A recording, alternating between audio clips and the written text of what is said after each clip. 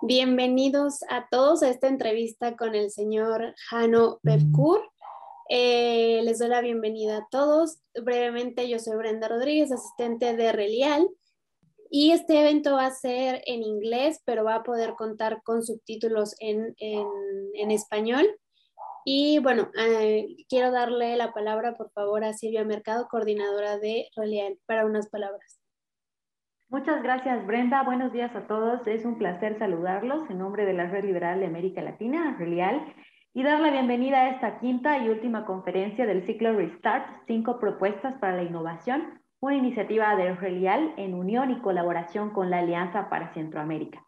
Este programa tiene el propósito de reunir expertos de diferentes campos, quienes nos ofrezcan puntos de vista, perspectivas sobre cómo afrontar el futuro de manera creativa e innovadora en esta ocasión es un honor contar con el señor Hanno Perkur, quien compartirá con nosotros su experiencia en gobierno digital, innovación, transparencia, entre otros temas. Muchas gracias también a Federico Fernández de Fundación Bases, uno de nuestros miembros más queridos, también un amigo muy cercano, pero sobre todo un profesional con amplia experiencia en el tema innovación.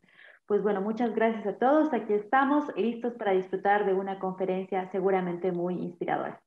Uh, thank you very much uh, for, for this opportunity to uh, to be at your conference and, and just to share uh, some of the views, what we have done here in Estonia, and uh, why digitalization uh, has been um, a very significant role or has played a significant role in, in Estonian success uh, during past uh, 20 a bit more years and and uh, I try to make my presentation in 20 25 minutes and then we have also possibility for for questions and answers. So so as, as far we are starting the slides i will just uh, tell a couple of words of my background. So i've been uh, as elected member to parliament since 2007 uh, and uh, have been working in uh, estonian uh, government for Uh, more than eight years uh, i started my career uh, in the government as a as a minister of social affairs spending there four years then i moved to the ministry of justice being responsible also for digitation.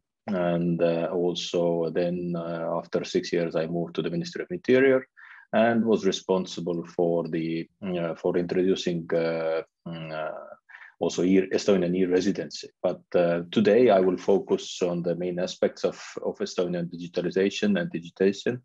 And for sure, I will I will also uh, show uh, some of the success stories and, and uh, our timeline, how we have improved during these past 20 years, uh, why we made the, these decisions, and, and of course, uh, then also I will tell you uh, about our lessons learned. So I, I, believe that this is also very important that we can all uh, learn uh, from our mistakes and and uh, not to not to make the, the same mistakes by others and also when we move to next uh, next steps, then we can also avoid ourselves uh, the, the mistake. So as, uh, as you probably know, Estonia is a very small country. So we have a population of 1.3 million. And uh, uh, once I had to make a presentation in United Nations and I was together in the same panel with IT uh, and Development Minister of, of India. And then I compared that, you know, in India and Estonia are very similar because we both have 1.3 uh, you just have billion, we have million. Uh, and and uh, well, obviously this was also one of the keys of our success because we are so small and we can do most of the uh, of, of, the services nationwide. So the territory of the area of Estonia is the same size as Netherlands. So when you compare that, Netherlands has 18 million people and we have 1.3. So you can imagine that uh, that uh, the the area is quite big and we don't have so many people. So this was actually one of the reasons why we started uh, 20 years ago uh, the process of digitation, and uh, we had to we had to move uh, towards uh, these solutions where we can provide different services to people nationwide and and uh, also considering that we don't have much uh, mm, uh, possibilities to to say to people that you have to drive all the time. So one, this was like the one of the key factors the why we started this digitation so fast. But on the other hand, uh, Estonia has been all, always very active internationally, and uh, we are uh, the most integrated uh, country in the northern uh, Europe. Uh, we are a member of e European Union. We are a member of NATO. We are a member of Economic Organization OECD, and and also digital nations. So and and when we take the ICT sector today in Estonia, then uh, we have almost six uh, at the moment already more than six percent of workforce uh, are working uh, uh, in in ICT sector. So this also gives you a bit of understanding uh, why we are doing so many so many different uh, solutions digitally here uh, in Estonia. So uh, the the reasons why we decided to move to the digitization and, and why we wanted to be uh, so successful. Uh, uh, one is that you know when we were coming from the Soviet era and, and Soviet Union era, then we saw that we need to provide to to our people the best services and uh, and uh, we were able to uh, move to lead past all this area uh, or, or this era uh, from 80s and, and we were able to start from 90s uh, with a totally new approach. We changed the government uh, and and uh, when we changed the government then all the governments starting from early 90s have been focused actually to uh, to give people the best service. And then we have been lucky actually uh, that our leaderships throughout uh, 30 years have been very digital or very open to digital digitization and uh, this is this is really really important because one of my postulates or one of my key principle has always been that uh, when you when you want to be successful then uh, you have to have uh, also a leadership for that. And and and the political leadership has to back you with all these decisions what you want to do. Uh, well, uh, uh, what we also saw that when you want to be successful in digitization, and, and to, to provide the best services, then you have to introduce for from day one uh, once only principle, which, which means that uh, when the government or the state is asking any data uh, of, of, of people, and then you have to do it only once. So when you ask that where are you living, then this goes to the database and, and uh, all the other uh, state services can, can access to the same database of uh, people's register. And uh, you can see where these people is living. So you just need to, to ask his ID.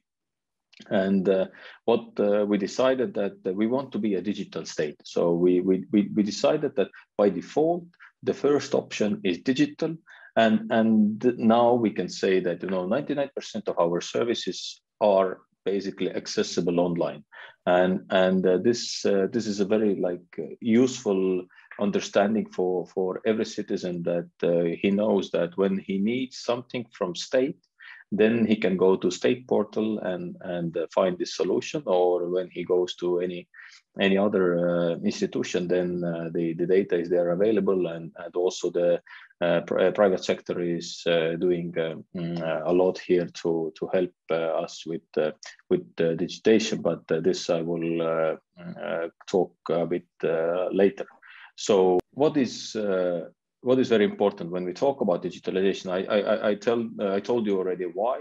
So, uh, but now about the principles. So the first principle, what what we uh, said at the beginning was that we want to be citizen centric. So we we don't want to see what or how this helps the government or how this helps the the, the companies, but first and, and foremost, we wanted to see that how this can help our citizens. And, and when we started to uh, create our services, then uh, we, want, uh, we wanted to take the position of the citizen. So uh, when you log into any kind of system, then you have to be comfortable and then you have to see the services what we have. Uh, uh, the second principle, what we had from the beginning, was that we have to have, or we have to do it together with the private sector. So the public-private partnership was uh, very, very essential, and then we, we had to bring this understanding uh, also to the private sector, and actually it was vice versa, because the banks were the ones who started to ask from the government that can we have the, the common identification system for, for citizens, because every bank had their own identification for the e-banks and uh, this was one of the key like uh, uh, striving moments uh, for for the government also to go on with the services and and with the e-tax board uh, i will explain later and, and and all the other services that we want to do it together with the private sector. And uh, and then of course that means also that when you want to create services for for the citizens then you have to have an internet access uh, so uh, we we uh, we were putting a lot of energy to bring people internet. at the moment, of course, it's more and more easy as the 5G is already coming. 4G is available almost everywhere in Estonia. So so this means that you know it's uh, it, it, makes a lot easier for for all of us to create uh, new services and uh, and of course, always there is a question that how you can protect the data, what, what you own. And uh, we said from the beginning that uh, even when we create the services for the citizens, for the people, then uh, everyone has to know that, that the data is, and the personal data belongs to individuals. So, so uh, when we also talk about opt-in or opt-out uh, options, uh, how to how to create different uh, databases, then uh, you always have to know that the data always belongs to the personal. So when uh, when we talk about, for instance, instance e-health, then every citizen can close their data. Uh, by default, it is open. So this was uh, our choice that uh, we uh, we say to the doctors that uh, as long citizens have not closed their data, it is available for the for the doctors. Uh, when you go to the doctor, then we can see your data.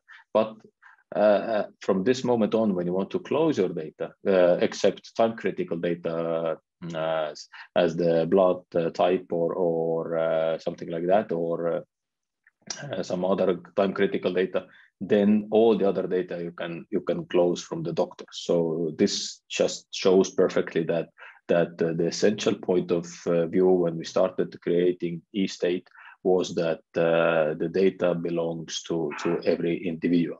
Taking all this into account, uh, basically what we decided that that as I said, 99% of the services at the moment are uh, accessible online and and that means that you know we we are digitalizing everything and and and of course as we have more and more new services coming to to the market then we can say that it's the ongoing process. But even when uh, when we have the christmas time now coming so when you go to to the forest and and uh, want to cut your own christmas tree then i just go to the forest. I have my mobile phone I, I will find the tree, I will cut it, and, and at this moment I can also pay for this uh, online, and, and it's not a problem at all. The same with these with the fishing licenses, uh, reporting a crime, uh, uh, vehicle uh, history check uh, or road maps or whatever other services. Basically, everything is accessible online. and we have one service. So when you can put to the next slide, slide I believe that's the slide where I could say that there is one service still which is not online and, and, and this is getting married. Uh, or divorced uh, because we still believe that uh, for getting married you have to go to the official to say yes or to go to church to say yes. So, so because uh, this is something we cannot uh, do online, but what you can do that you can register your time to go to the official or to church online, but uh, still this final word to say yes and to kiss your bride, this has to be made uh, still in real life, not online. So, uh, but at the moment, you you never know what what's going to happen in the future. But at, at least in this moment, we we have uh, the services and and uh, also when we take the uh, the the health crisis we have at the moment, then exactly at the same time when we introduced the uh, or when, when we had uh, the start of COVID period, then we introduced uh, also the e-notary, which means that you can sell or you can make your testimony also online and and uh, this is uh, very very comfortable that notaries can identify people uh, online because they have the access to the databases uh, and uh, for instance people's register. And uh, you can do uh, all the services what the notary has to do you can do online uh, and the same thing what we did during the crisis or the, uh, when the pandemic started. We also created uh, the online tool for Estonian Parliament. Uh, the room is what is behind me at the moment, and uh, and uh, this was also a very good tool for us that during the pandemic we didn't have to, to close the Parliament. So we were able to work from our homes and uh, all the decisions, all the same services or all the same tools, all the same options, what we have uh, sitting in parliament. Every parliament member has also the, the, the same rights, the same options uh, working uh, from home. So uh, even at this moment, this week, we are working uh, from home and probably we will go back to parliament starting from next week. But until today, we were working from online, so from, from home. So, and, and to to all to do this uh, all uh, we uh, uh, what is the like the like the starting point uh, for all these services is that you have to identify people and uh, online. And to have this identification i already mentioned the banks so uh, to have this understanding uh, that uh, what what the banks were asking from the government that please give us the tool where we can uh, uh, can identify people electronically, then uh, we introduced electronic ID, which means that. every Estonian citizen has the electronic ID in their pocket, and uh, this is the tool where we can uh, use uh, mm, identification uh, mechanism or identify, identify everyone uh, uh, online. And when we take the numbers, then more than 70% of population is using ID card regularly. and also the other two options, what we have for identification, like mobile ID and smart ID, then uh, these options are, are also available uh, for identification as, as new methods. And uh, I, I, don't have enough time to talk about e-residency today, but e-residency is mainly uh, focused for uh, international uh, mm, businessmen or, or people who want to make business internationally. And the, the very simplified explanation to e-residency is that you will have an Estonian e-residency. And for instance, when you have a, a multi national company where the offices are in um, in Chile, in in uh, United States, in London, in in Germany, in Tallinn, then you can have everywhere. Uh, and this company is registered in Estonian Business Registry. Then you don't have to travel to Estonia to uh, provide the documents for the uh, business register. You can all sign your documents uh, online uh, using Estonian e-residency. So, but but this is not the, the only uh, tool or the only option what you can do with with e-residency. But but this is something we introduced in 2015 so I, I will now uh, go uh, just uh, quickly through the process. Uh, when we when you identify yourself, then uh, this is a very simplified uh, picture of, of our X-road, and this is actually the, the spinal core of Estonian e-state because the X-road means that all the services, public services and private services are linked to each other via X-road. So, and, and that means that when the when you go to have an e-prescription, then, uh, for instance, 99% uh, of the prescriptions in Estonia are, are um, issued electronically, then that means that uh, for electronic prescription or for a prescription to have a drug, you need to go to the people's register, you have to go to the uh, you know, drug register, you have to go to the insurance, uh, health insurance. Uh, so in total, seven different registers, and, and all these registers are linked to each other with or via X-road. And, and also when you go to bank, then uh, the private services are using the X-road. So this is basically the, the spinal core of Estonian e-state that where all the different services are using the X-road to communicate with, the, with uh, uh, each other. And, and, and this allows uh, uh, the, the companies and the state to change the data. And this also allows to uh, uh, have the understanding that you don't have to put all the databases to one uh, spot, but every uh, database will be in, in the possession of the data owner and just the data is inquired through different, different uh, databases and and uh, we are just to, to understand also we are talking about a lot about the, the green economy and and at this moment where this is very important that we have the sustainability then uh, as you can see here so we are saving 3 million working hours annually uh, with uh, this solution. Uh, we are using in this database 3,000 different services or via X-Road. And, and when we take the transactions, then one, more than 1.3 billion transactions are, do, uh, are done uh, yearly uh, using the X-Road. So, but, but just the green thinking is also very important for us that we, we understand what is the, what is the value of, of X-Road and then these services. And as you can see, uh, our uh, principle has been uh, taken over already in many, many other countries like Azerbaijan, Argentina, Cambodia, Colombia, El Salvador, uh, Faroe Islands, Finland, uh, etc. So, so as you see that that this understanding how to link different services and different uh, databases uh, using the X-Road uh, principle.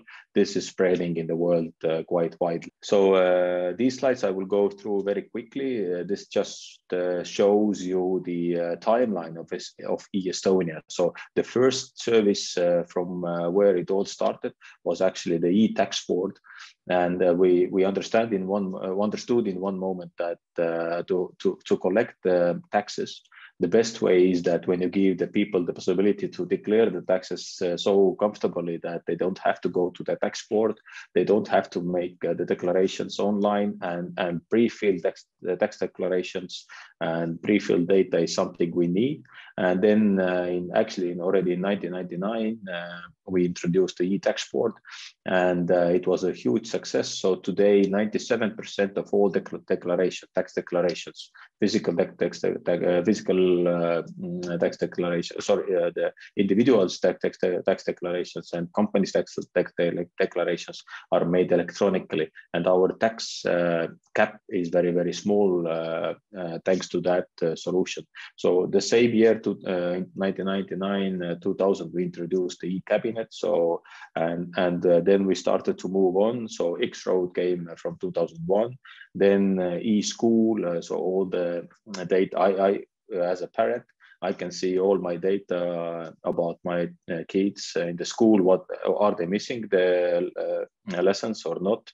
Uh, what grades they got, etc., etc. So this was all Mm, uh, introduced already uh, almost 20, 20 years ago. The same with the digital signature. ID card already mentioned. So eesti.ee is the, is the state portal and all the state services are there. So anything you need to make an inquiry about your, your own data or even when I go to uh, and I want to see that who has looked my data then I just can have it uh, this information with one click that I can see that who has looked uh, my data from different databases. So and and when I make an inquiry today, then I can see that a couple of notaries, police has looked my data, and I can always ask them why did you do that. So uh, next slide, please. Uh, this just uh, continues the timeline. So as you see that i-voting, so we started electronic voting in Estonia in 2005 already. And today we have, uh, I have uh, next uh, one slide where we have also the numbers, but majority of the votes is coming already today um, by electronical uh, vote. So the same with e-notary. E-notary we introduced in 2006, but as I said, that online uh, uh, confirmation we started from from this year. this was extra tool for that. E-notary means also that the notaries don't have to make uh, the inquiries because before that it was a very long process to ask from the state portal to ask data from the uh, from the different uh, different databases, it, it took uh, a lot of time. That so e-prescription I introduced in 2010 So the next steps, what we are doing at the moment. So we we started already with uh, AI, our AI, so uh, artificial intelligence strategy, and and uh, we we try to we try to uh, also continue with the cross-border uh, solutions. We have uh, e-prescription, uh, which is valid already today in Finland, in Lithuania. And when our people are working in Finland, they have the prescription from Estonia, then they can go to Finland's uh, pharmacy and buy that out. E-governance is one of the key digitalization topics in Estonia, and it comes in many forms. As a start, the Estonian government completely discarded the old paper document-based decision-making system in the year 2000, all in favor of an innovative digital system called e-cabinet. Nowadays, the session hall is free of any stationary electronic devices and politicians can use their own portable devices like laptops and smartphones. But how would they log in? Well, just like the rest of us, via ID card or mobile ID. They can see upcoming meeting agendas and also give preliminary votes on topics before the meeting. Topics that don't face preliminary objections won't even be debated anymore, and instead get adopted by default at the beginning of a session. That way, the average session time was cut from around 4 hours to 30 minutes, and this led to the creation of paperless parliament. So, since government representatives could vote online, the mindset started to change. Five years later, i-voting was implemented and enabled citizens to cast their votes online for regular elections, be they local, national or European as well. Estonians can vote online since 2005, and Estonia was the first country in the world to have used nationwide i-voting in binding elections. How does i-voting work? Well, you need to download the free voting software, have an internet connection and your ID card or mobile ID. Let's try it on this laptop. So I click on ID card, then enter my PIN 1 to get authenticated.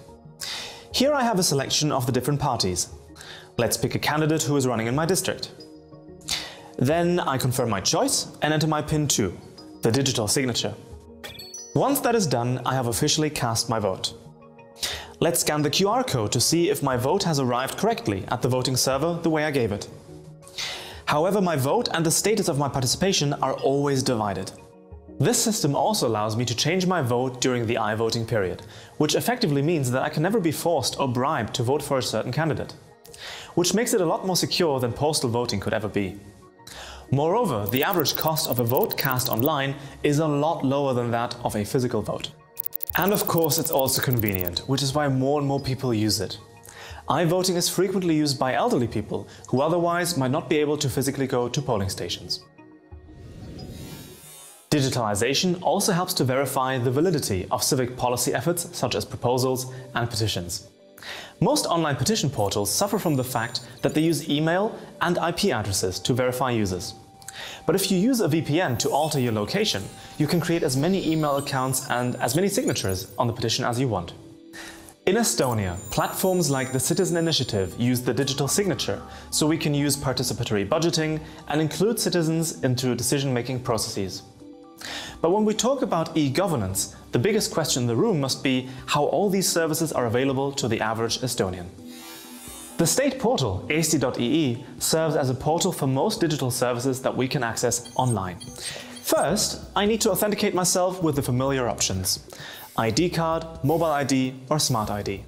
Once that is done, I have access to services covering topics like healthcare and pensions, doing business, education and leisure, this website helps me find out which of my medical prescriptions are still valid, when my car is due for the next technical inspection, how I can create a company in less than 30 minutes, and how to update my digital fishing license. Beyond this, I can also see from the data tracker who has accessed my data, when and for what reason. In Estonia, this is called the Truth by Design approach. We also have certain services bundled into so-called life events that make those situations easier when you would usually have to get in touch with several government authorities or registries. As you can see, the online services in Estonia are very user-friendly and generally easy to understand so that groups that might otherwise be at a disadvantage, for example the elderly, people who have spent few years in the education system or people with disabilities, are not left behind on the path to digitalization. And this was a crucial realization for the Estonian government. Almost no one truly rejects digital solutions. They just have to be good solutions. An online service that is exactly as complicated as the offline alternative will not get many people excited. But if the online service truly solves a problem for citizens, then it will gain traction. The first service was brought online in 1999, and indeed, it solved a big problem for many people. It was the online tax declaration. By now, people can declare their income tax within three minutes and a few simple clicks. This service, the solution itself was incentive enough and got many people interested in the other digital services that followed soon after. Going beyond simply user-friendly services, Estonia is also working on what we call proactive governance. What does that mean? Well, even though most services are available quite conveniently online for Estonians, it is still ultimately the citizen that approaches the state for a certain service. Proactive services aim to reverse that logic so that the government approaches you when it knows that you are entitled to a certain service. For example, when my doctor registers the birth of my child, I automatically get access to child benefits and other support measures to which I am entitled.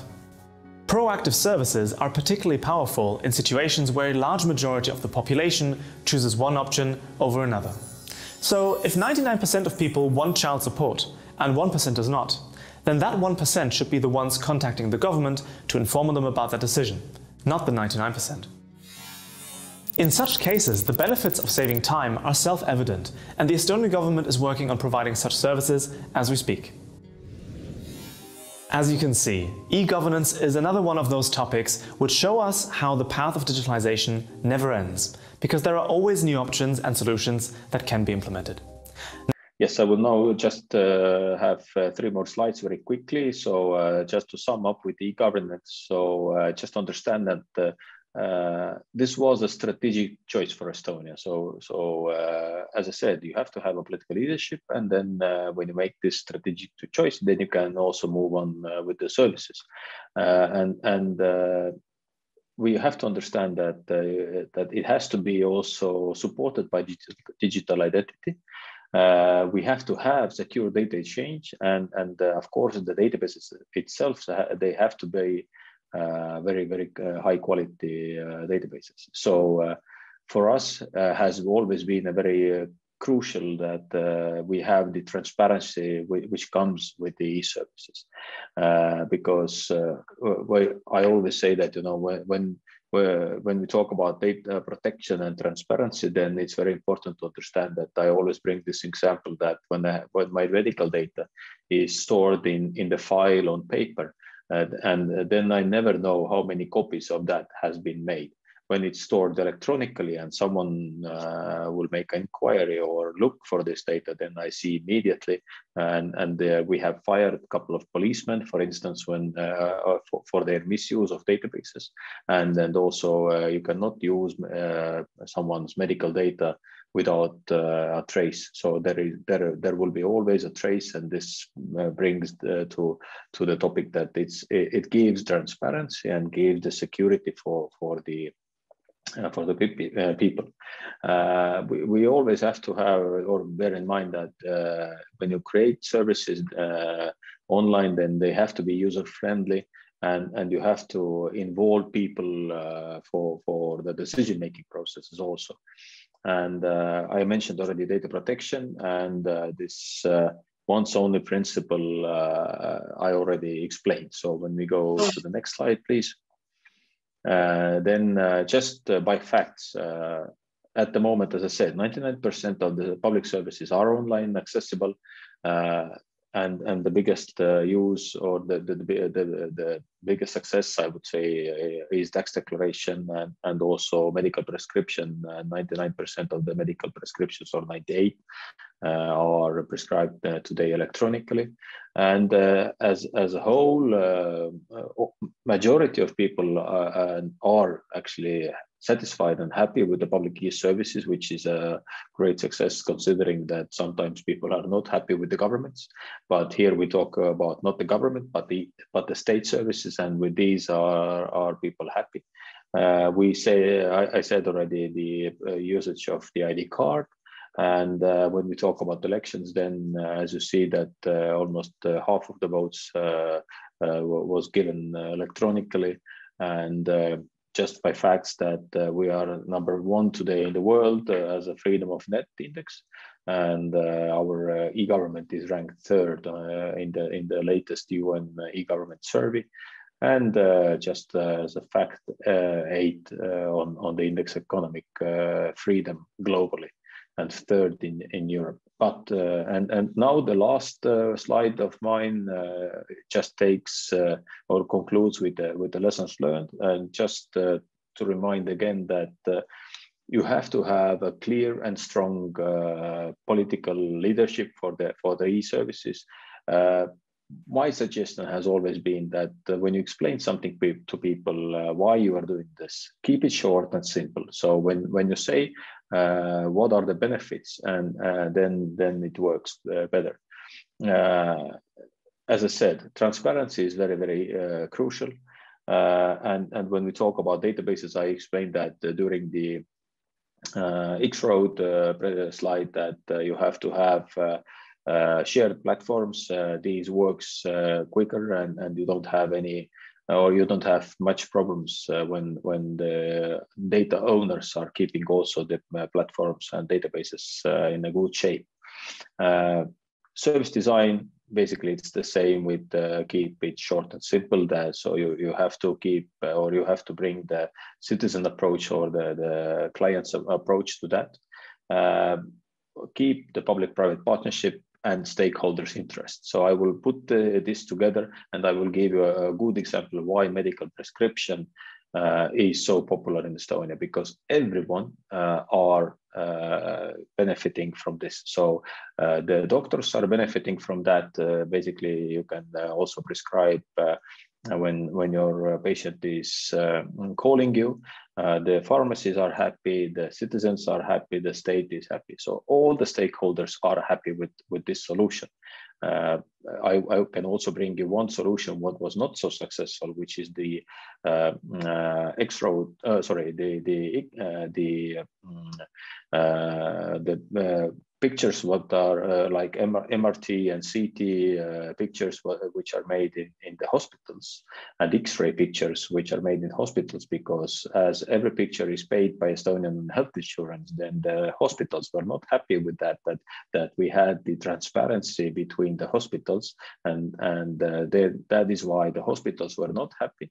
And this service didn't start as well as the medical prescription. So you so this just gives you an understanding that you always have to have all the stakeholders on board to be successful with the with these services. Uh, so as less you have restrictions, the better the services are working. And uh, when we talk about uh, the X road, and the X road is a very good example that uh, you don't have to think uh, that you are uh, creating something for for your use only. Just think globally and and this uh, this gives you more advantages also for for your own future. And uh, last but not least simple is always uh, beautiful. So my last slide uh, is the next one. And uh, this uh, just sums up everything and and well as we have seamless uh, for the future, we, we want to have uh, seamless e-services available 24/7, uh, which was also uh, brought to you in, in the short video that uh, we we are changing the the understanding that the state is contacting the citizens, not uh, vice versa, and we all have to understand one thing: that digital world is not the world is not the future. It is part of our everyday life already today and, and we just need to cope with that and, and uh, work uh, in this direction to, to give people uh, the best services we, we, we can. So just uh, to conclude there is no option uh, of not uh, making a decision. So you have to make a decision now and then and to start uh, building uh, the better future uh, for for our citizens in in all our countries. So thank you very much. You can find more information in e-estonia.com. And of course, uh, I'm always available for, for contacts if you have any questions, or I can uh, bring you to the people who can uh, give you the best, best answers regarding Estonian uh, uh, e-state. So thank you very much for listening. And now I'm ready to, to answer all the questions. Thank you. Thank you very much, Mr. Pevkur, for this interesting presentation. I will give you now the floor to Mr. Federico Fernandez to continue with the interview. So uh, Federico, please. Well, hello, Brenda. Thank you. And, and hello, Mr. Pevkur. It was great uh, listening to your presentation. There's a lot, you know, to, to talk about. Uh, probably, you know, we won't have time to, to discuss about everything. I would like to start with the following question. You mentioned several times during your uh, during your speech and at the at the at the at the end as lessons learned the importance of, of leadership. And you mentioned that Estonia in the last 30 years has had a very digitally minded uh, political leadership. What, what do you think are the reasons for that? Do you think is is in part some sort of reaction to what used to be the, the, the, system that Estonia suffered before the, the, the, independence was regained in 1991? Or why do you think that during these three decades of, of Estonia recovering its independence, Uh, the leadership has been so committed to digitalizing the, the nation? Thank you very much for this interesting question. So first of all, I, I have two like reasons for that. I believe that this is my point of view. First of all, uh, we have had uh, here in Estonia a common understanding that uh, not uh, looking who is in the government or who is in the coalition or who is in opposition, we have like three areas where we have the common understanding. So one is defense policy. So we all understand that we uh, what means to keep your independence and, and how you have to fight for that and you have to put uh, focus to that. The second is foreign policy. So to and we have said from the early 90s that uh, we want to be a very integrated country and uh, we want to be a part of European community. We want to be a part of NATO, and and uh, we our one of the slogans was, was that uh, never alone again. So, which means that these two have been like the, the key like railways for us uh, for for the for the future.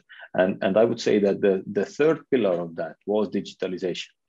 And why I'm saying that is that uh, every politician is all also just a citizen. First and foremost, we are citizens. So uh, when I can use as a politician, I can use these services uh, which make my help easy or my life easier, or with, which uh, help to live my life. Uh, then uh, I would like to also to put uh, more energy to to move towards new goals and and this and, and I believe that also we had have had the luck from the early 90s to have uh, quite young people in our government. So our first prime minister after the independence war was just a couple of years over 30 when he became a prime minister. And since that time, we have always had very progressive, very young people in, in our government, and we see the advantages. So when every one of us uh, sees the advantage of digitalization, then you are uh, more than happy also to, to, to continue the road which have been uh, built uh, by previous or uh, by, by former governments. So I believe that, you know, the, the, as I said also in, in, my presentation, that most important is that, that show the benefits for everyone. So when you show the benefits for each citizen, then you can also show the benefit for a politician. So, and then when you can do something which uh, are most welcome by citizens, then you can also wait for a better uh, election result. So it's it's it's maybe a circle of like of life, but uh, the, uh, I still believe that you know one of the main reasons was that you know we are first and foremost still everyone, even even the politician. I, I know that it it uh, might uh, uh, you know look strange, but still all the politicians are also citizens. Indeed, yeah, yeah.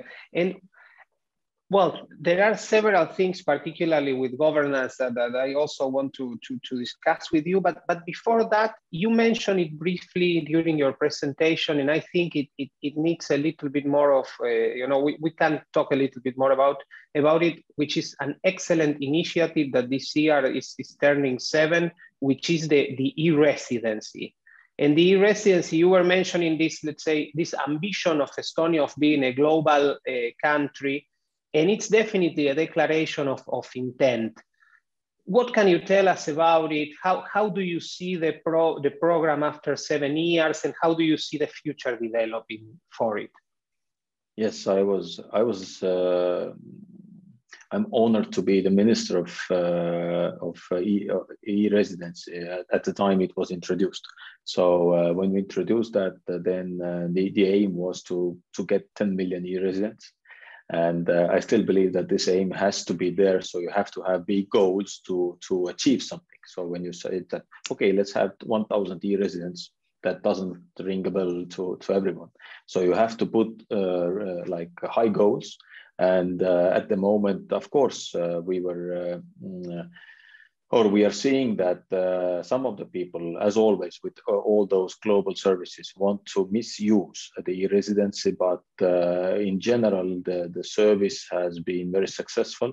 And we, we really see that this helps to make Estonia bigger and uh, you know as a, as an international business hub uh, it's it's one of the options that as i said that when uh, a global company who has uh, offices in Hong Kong, uh, in, in Buenos Aires, in, in uh, New York, and in London, they have uh, to sign any kind of papers, then please, please use the residency. You can save a lot of money not flying all the time in business class. You can just uh, use our e-residency for signing the documents. And, and as the uh, registration of the company takes in Estonia 18 to 20 minutes uh, which is also like legally approved company. I'm not talking about that you are uh, uh, creating a company in notary and, and then it takes time to be in the court system.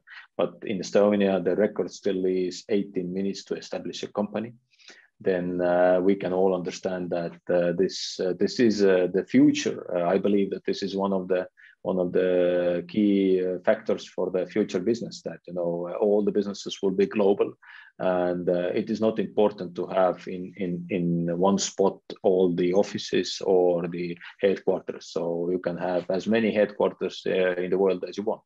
So uh, I, I believe in e-residency and, and I believe that, you know, um, growing uh, for uh, growing of e-residency is one uh, just one next step. And, and it's like i would say that e-residency is like a startup.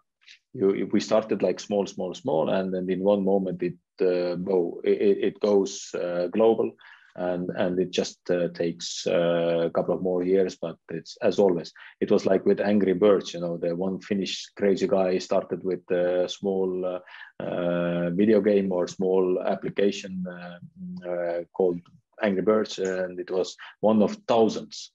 And in one moment, it just boomed and and it's the it's the same with e-residency so a couple of countries are copying it already and and now it's the battle of uh, environments.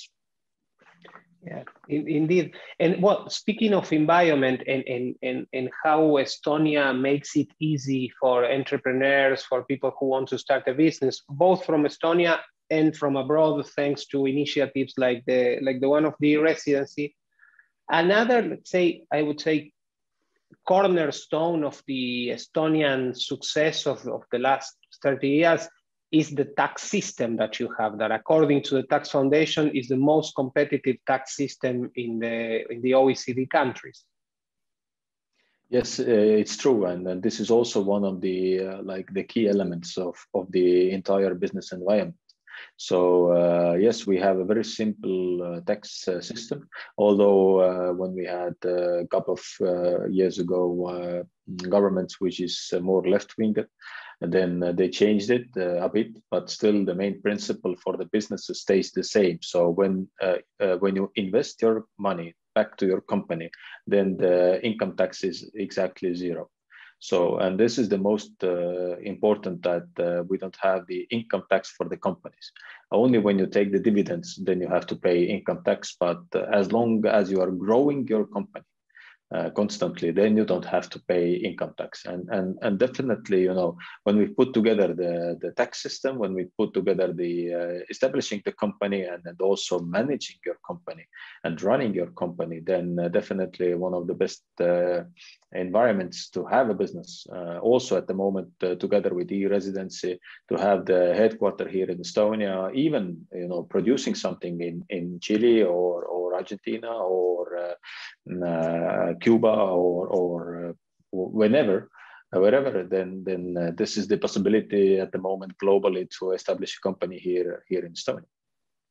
Yeah, indeed, and and I mean, you were mentioning this idea of this citizen-centric governance, and in a sense, I think the Estonian uh, tax policy is that applied to taxes in the way that if you are starting a company, usually when you, let's say when and you know particularly young people or whoever want to start a company, it's not that they have 100 potential clients lined up and saying, hey, please start a company and we'll start paying you immediately. So at least you run a lot of risks being an entrepreneur, but at least you don't have to pay the to, to pay the state in order to exist. First you make money and then you pay, not the other way around, which is like basically how is it in, in many countries in the world, most of them. Yes, and and not only that, but uh, at, uh, what, what you can do here in Estonia, you can establish a company with zero uh, uh, like input. So you don't have to have any money for that. So so basically, what we say that even the the share uh, uh, or the stocks or the share what you have to have at to, to establish a company, you don't have to have.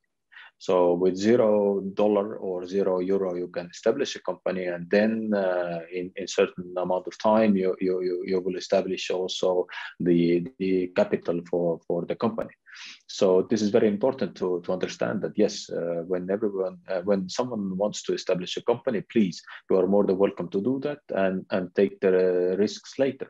So uh, we, we try to put uh, uh, the understanding also in our schools that being an entrepreneur is, is a normal thing to do. But uh, of course, uh, it's it's not so easy. And, and globally, we see that you know still about approximately 10 to 50 percent of uh, young people want to be entrepreneur. And uh, sometimes when I go to schools to explain that to, to young people, then I will ask normally that, okay, how many of you want to be an entrepreneur? And when they when I see 10 to 15% of, of hands, then I say to the others that, uh, hey, now look around. These people are the employers for you in the future so then oh it's it's not possible but but this is the truth. So uh, in, in the government system you don't have much uh, workforce and most of the people are still working in in the in the labor market uh, in, uh, in private companies. Indeed. And well speaking of of being an entrepreneur in in estonia Estonia has, if and please correct me if I'm wrong, has seven technological unicorns, and it's the country that has the highest per capita uh, rate of, of unicorns in, in, in Europe and probably in the world. How, let's say, how, how, how have you seen that process? How, how does it make you feel as, a, as, as an Estonian and as, as someone who is involved in politics? And, and how does the, the, the society uh, related to this? Yes, of course, we are very proud of all these businessmen, and especially all, uh, most of them are very young. So when we go back in time, actually also Skype was invented in Estonia. So many uh, that uh, yes, the investment came uh, from Nordic countries uh, and, and, from Sweden, but uh, the inventors and, and um, programmers, actually uh, the IT people were from Estonia, and, and they they benefited a lot when they sold this to Microsoft at the end. But but yes, to to start actually the uh, success story of Estonian ICT sector, I would say that yes, the the first uh, bird was uh, Skype, but then already Bolt and TransferWise and and the other unicorns. So at the moment, uh, of course, all these unicorns unicorns uh, they are working globally. And, and this is also when you remember my presentation so this was one of my like lessons learned that think globally but but also when I take all these unicorns uh, which have uh, started their uh, business here in Estonia, they also benefited from uh, the simple tax uh, system and, and also establishing a company and all these e-services what we had. Because when we take uh, the mobile parking or transferring bank account or money to bank account or whatever other services. This was so easy. And then when we take TransferWise, this basically grew up uh, from, from the understanding what we had here uh, between the big banks. And then they saw the obstacles, what you have transferring money uh, in, in, in big banks. And that is why they created TransferWise, which is now Wise. And then also when we take the, the taxi uh, company Bolt, Uh, or the sharing uh, platform, then uh, we see today already also, which was a boom in in our mm, pandemic time. Bolt Food came into the market as Wolt. So all these services, you know, as always, when when the, there is a gap or there is a need uh, on the market, then someone will fill this gap. And and exactly, I believe that uh, uh, our young businessmen they they understood and and they they felt that uh, what is missing on the market, and that is why they they created this, and that is why we are so. Uh, proud of them that uh, we have so many unicorns today, which were established here in Estonia. Yeah, indeed. And you have, I mean, like this virtuous cycle that, you know, an easy, easy, governance, easy taxes cr- created the environment for, for these entrepreneurs to grow. And then now you have in Estonia this, this magnificent uh, phenomenon that, you know, the name can be misleading, the, the so-called Estonian mafia, all these very uh, successful entrepreneurs who are nurturing future entrepreneurs from, from the country. Unfortunately, Mr. Pevkur, we are running out of time and I have only time for one more question.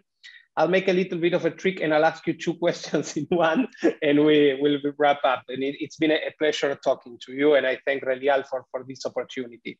And of course you.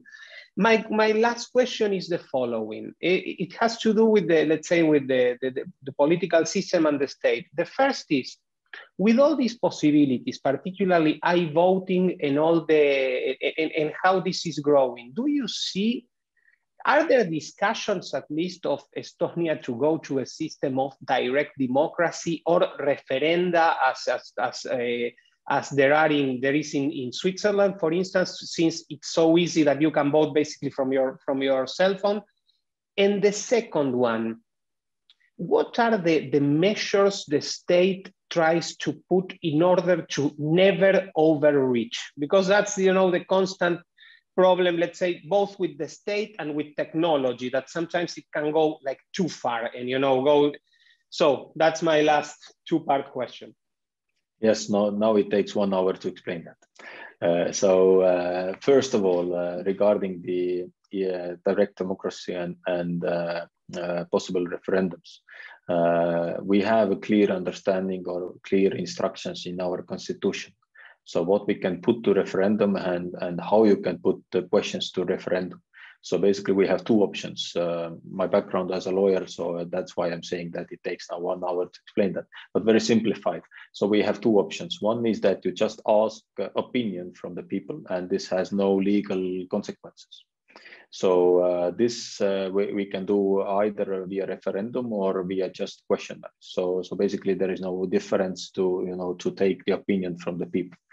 But uh, the other option is to put something to referendum uh, as a as a bill, uh, as a as a possible law uh, proposal and uh, when this uh, doesn't go or with, when this doesn't take get 50% of the votes of the people then the parliament has to resign so this just you know keeps back the politicians to, to play with the idea of referendums. So basically, when we put something to referendum to ask people, then as we have the direct democracy and and and and uh, and we, we we still believe that the parliament has to take the decisions so so the the aim of the uh, democracy is that uh, that uh, the parliament will take the decisions. So when you put every question to the referendum then uh, then the understanding of uh, of that kind of democracy will be changed.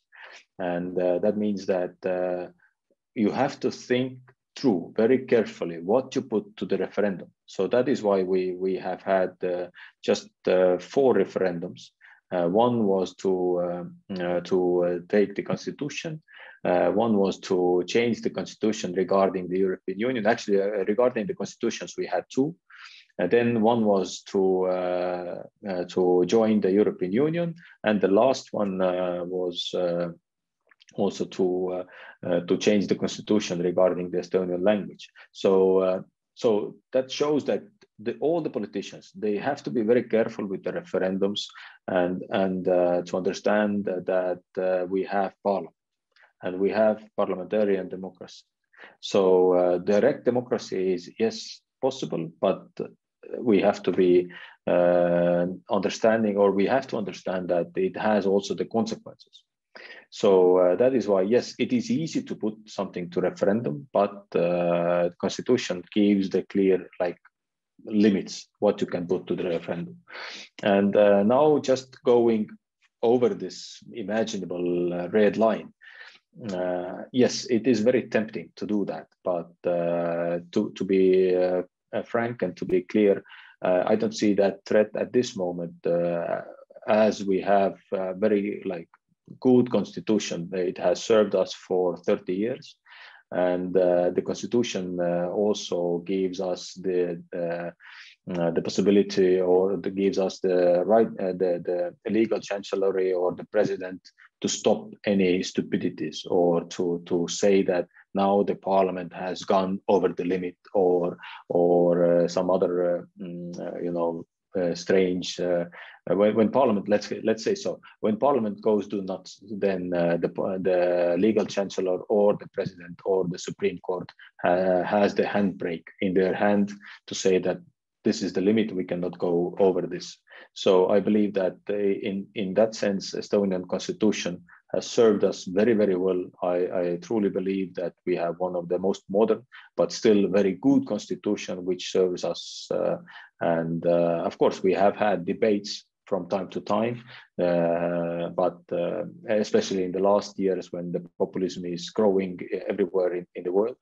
But uh, still, I believe that uh, the the mechanism which have been set in Estonia are preventing from these stupidities. So thank you very much, all of you. Uh, I'm open for uh, for follow-ups, and if you need any kind of uh, clarifications or or um, some more information, then uh, my email is easy, uh, easily fi findable or easy to find in, in internet. And uh, please ask the questions, or if I can help to improve your country's um, systems or to to uh, put some more uh, mm, entrepreneurship or, or also the uh, forward thinking approach to, to all of you, then I'm more than happy to do that. Once again, thank you very much, Mr. Pevkur, and of course, uh, Federico, for this interview. I will hand over to Siegfried Herzog, uh, Regional Director of the Friedrich Naumann Foundation uh, for Thank some you, closing remarks. Uh, please, uh, Mr. Herzog. Thank you very much. And thank you very much, Mr. Pevkur, for this excellent presentation. Um, as closing remarks, I would try to look at what do we learn from this. I think obviously uh, Estonia has established itself as a leader, as a global leader in digitalization and it and in that sense it shows us uh, the future or the the possibilities the opportunities that are there and that are indeed as you as you mentioned in a sense unavoidable because digitalization uh, is uh, more and more becoming part of our life. We are in a major transition like from steam engine to or from steam power to electrical power. Um, as an economist i would say this is another kondratiev. We're uh, we're reordering our our world at the moment. Um, of course, Estonia is also a special case. It had the, um, on the one hand, uh, the difficulty, but also the opportunity to start from scratch when it um, when it got formed again as, a, as an independent state after decades of Soviet dictatorship. So it could um, design systems from scratch and um, was less restrained by, let's say, forces of status quo. And in that sense, uh, but in that sense, it shows what is what is possible what is important, I think what we learn from it, one is um, you need a committed leadership and, in, and Estonia has been blessed with uh, several decades of committed liberal leadership because uh, a transformation of this type is um, probably 60% um, political leadership and 40% tech, uh, technology uh, or technical work. Um, and this is actually um, even more important when you have to fight entrenched status quo interests, something that Estonia probably had had to do a bit less. Um, what are important elements?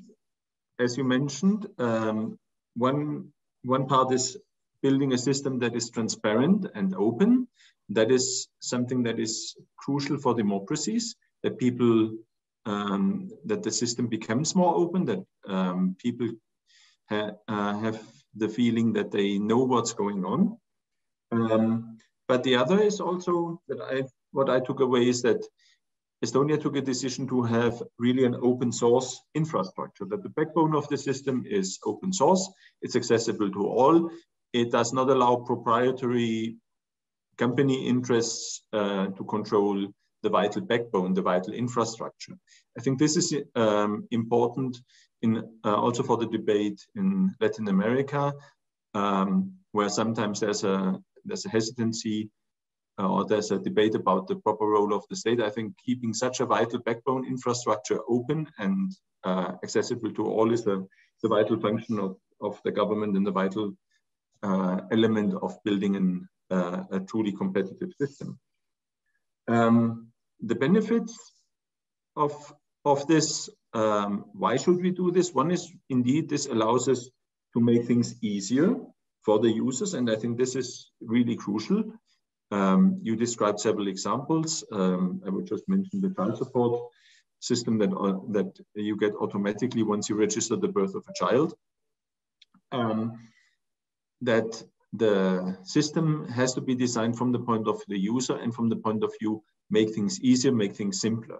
This is, I think, a philosophy that in most of our countries, whether it's in Latin America or, or in my native Germany, is something that the bureaucracy is not very comfortable with.